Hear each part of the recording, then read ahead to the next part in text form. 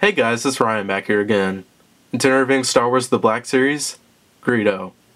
This figure's from the second wave of 6-inch Black Series in 2013, and the retail price is $19.99. Here's a nice look at the back of the packaging.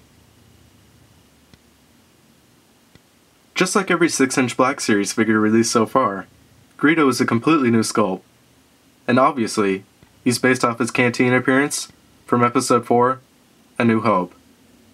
Even though he's a rather basic alien, Hasbro captured every detail.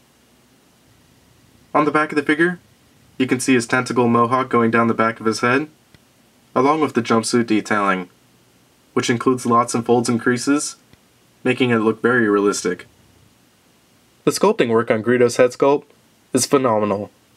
Just even looking at his ears, you can tell they put a lot of time and effort to capturing his full likeness. The skin is heavily textured, with scales and bumps. He has two antennas on the top of his head, along with the tentacled mohawk, and his large bug like eyes are painted in a metallic purple color.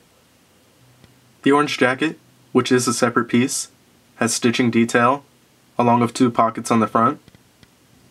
Leading down his sleeves and onto his pants is a yellow stripe, which extends the entire length of the figure.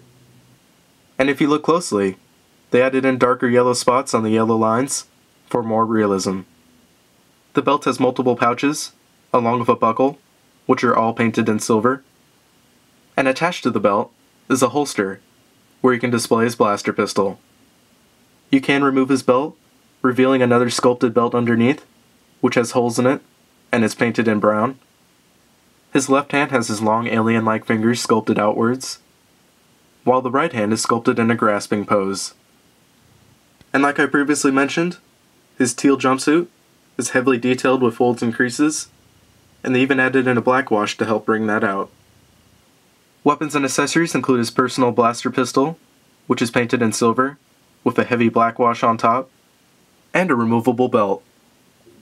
And the articulation for Greedo includes a ball jointed head with a hinge joint, ball hinge shoulders, ball hinge elbows, ball hinge wrists, ball jointed waist, ball hinge hips, swivel thighs, double hinge knees, and ball jointed ankles with a rocker joint.